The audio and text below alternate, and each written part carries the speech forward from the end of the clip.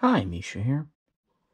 And let's talk about a ship from everyone's favorite film, Episode 8 The Last Jedi. This is the so called Resistance Bomber. But its official name is the MG 100 SF 17 or B SF 17 Star Fortress. This is a long range heavy star bomber. And it was designed, initially produced by Slayn Incorporated, a company famous for some other craft, including the V 19 Torrent from the Clone Wars, which was a fighter, although it did have missile launchers. Not common for that day. And more so, the B Wing, which was an attack or an assault bomber or light bomber. And I just brought these out because even though one was designed in the early 80s, one in the 2000s, and one in the 2017 time period by different people, I actually do kind of see the resemblance a bit. I also think this resembles the uh, Nebulon B frigate. Think about it. You have this hanging down here, sticking out. You have this wide part up here, and then it gets skinny and then kind of flares out a bit in the back. I just picked this up. And so this is the first time I have seen this ship. And so my reaction is interesting. It's I will say this for sure. This is not what I thought it looked like. Anywho, if you look at the front, you'll see why originally this would be known as the T-Wing though this name would never carry over officially into the show. I think it should have. It looks like a T. More so than the B Wing looks like a B, to be fair. Actually, the B Wing looks more like a T Wing, too. we don't have a ton of in universe specs for this, partially because it's relatively new, partially because we don't have both Legends and modern Disney canon to go off of. We just have the modern canon. But what we do know it's uh, just under 30 feet long. And I screwed it up, I apologize. It's just under 30 meters long. So, yeah, quite big. And it's about 21 and a half meters tall. And it's about 15 and a half meters wide. So, this is a big craft. I don't know its maximum speed in an atmosphere. We do know that it has six sublight engines. We don't know which class of hyperdrive it has, but it's pretty safe to say it's a class 1 or, or greater. We know that it has shielding, and we know that it has electronic countermeasures and systems to kind of jam enemy craft from targeting it. And that's because while we don't know a top speed, we do know that in universe it is said to be rather slow and unmaneuverable. Unmaneuverable uh, by, I'm not sure about slow. Seems like it should be okay in a straight line, but I digress. Also, for defense, we have six medium lasers that are remotely operated, including on each wingtip here. There's also one under the cockpit. And then we have three dual heavier lasers and turrets. We have two here and one down here. These are ball turrets. And these are manned. We have a crew of five. We have the pilot up here. We have the co-pilot slash bombardier. And we have the flight engineer. Those make up those are the three members of the main crew. On top of that, we have two gunners. One on the bottom down here, and one in the back. And this is relatively well defended in the rear and in the bottom, but pretty lightly defended in the front, as we really only have this one laser here, and the top only has one here, and then I guess these could rotate. But yeah, top wise, it's kind of undefended. And it has a good bit of internal volume.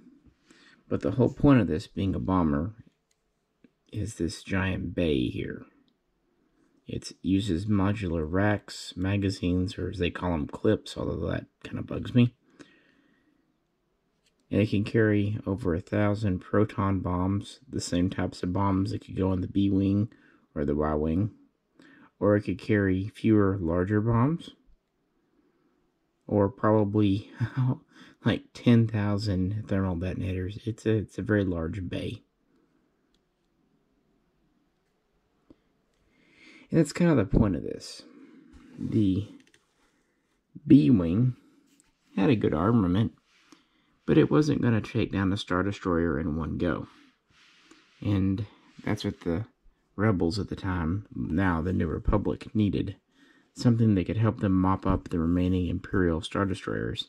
And so the Star Fortress here was uh, created so it could basically one shot large Imperial capital ships.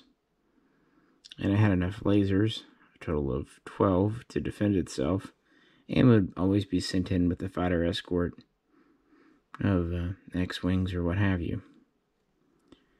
This was first kind of tested out after the battle at Endor and was put into production around the time or maybe shortly after the Battle of Jakku in 5 ABY. And these are put into rather large scale mass production during the last couple of years of the Civil War during more of the mopping up campaign. However, the production run was relatively brief because with the Galactic Disarmament Treaties, first they would take these out of production and then later on many would be sold off or scrapped. So not many remained in the New Republic fleet by say 10 ABY which is how the Resistance ended up with some old ones when it was first founded around 28 ABY. But even it only had two squadrons of these, so not a huge number.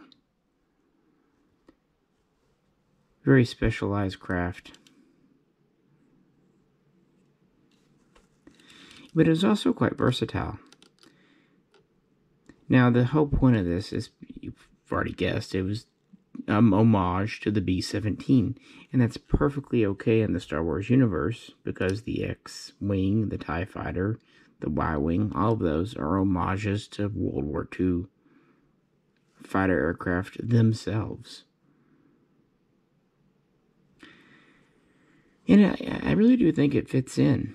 Uh, this cockpit is very much styled after that on a Corellian freighter like the Millennium Falcon which is funny because the Falcon's cockpit, cockpit, excuse me, was originally kind of inspired by the Boeing B-29, which was one of the successors to Boeing's B-17.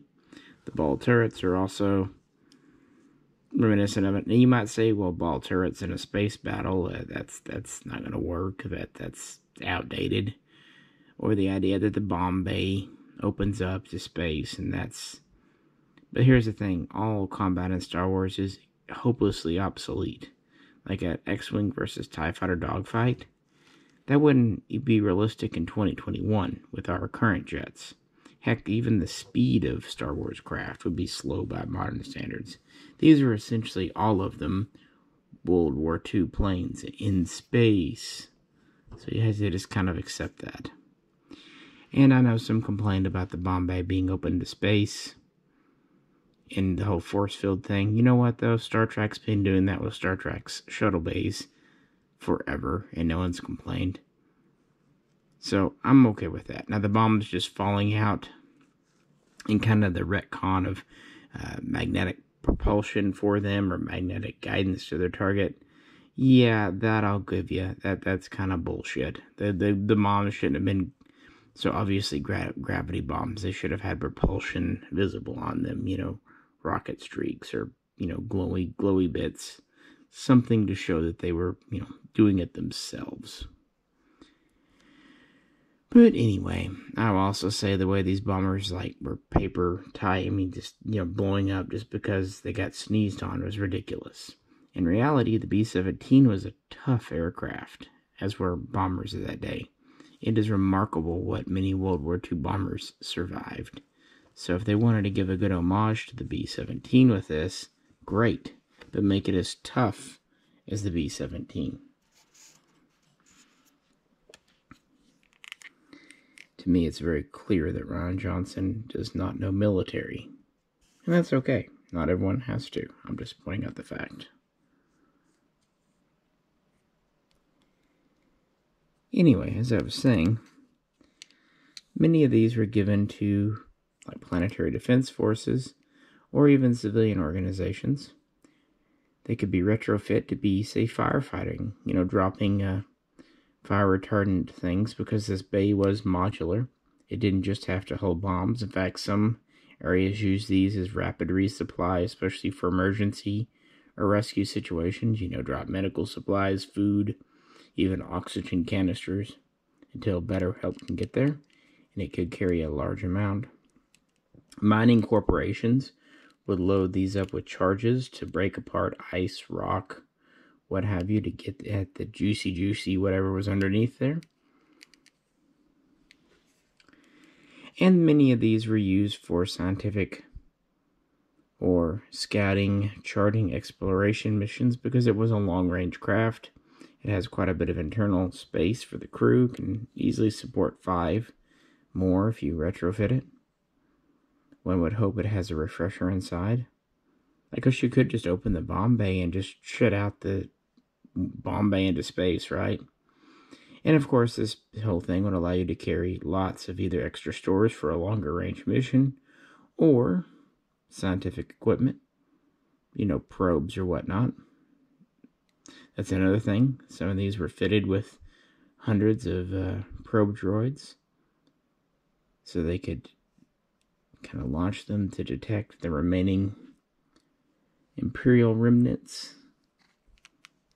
So it was actually a versatile craft. I think it has a lot of potential in the Star Wars universe, and I really like the look. Now, full disclosure, I've always been partial to the Nebulon B frigate. So when I realized it was kind of a Nebulon B frigate in small form, I was all about it. I just think in that one film, it had the reverse of plot armor. But in reality, it should be slow, lumbering, but it should be tough.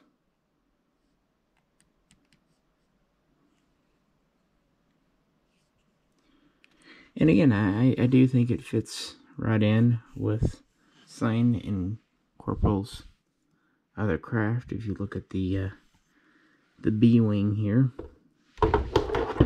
Wow, yeah. I was also going to mention that it does. It's very unbalanced on its stand. Anyway, here's our B wing. You can see just kind of how skeletal it is and everything. In fact, the B wing is about 16 and a half meters tall. So it's smaller, but not by a huge amount. I don't know. It just seems like there is certainly a uh, a design lineage here, and since the company was already partial to bombers, yeah, I like it. Be kind of neat if the turrets moved, but it's a very heavy model. That's why it kind of falls. This whole thing is metal. The very tip here is plastic for the ball. The wings are, of course, plastic, I think. And the tail here with all the guns, plastic. With the centerpiece and the bomb bay piece, all metal. Since people just love The Last Jedi so much, you can find these everywhere for just a few dollars. Brand new. This is from Hot Wheels, by the way. They're not really doing much in the Black Series titanium anymore. Unfortunately. But I think Hot Wheels did a good job with this one. So, even though the film is the, I actually like this ship, it shows imagination, whereas episode 7 and episode 9, not so much. At least I'm talking about when it comes to the ships. At least episode 7 had some kind of neat designs like the tie silencer and, and this here. So, what do you think? Do you think it fits in? Would you like to see more of the um, MG100 SF17? By the way, the name of the uh, laser turrets is the 1919, which of course is uh, an homage to the Browning. So this really was uh, a dedication to the B-17. By the way, my uh, uh, step, would he be? I don't know. My stepmother's father, step grandfather. I don't know.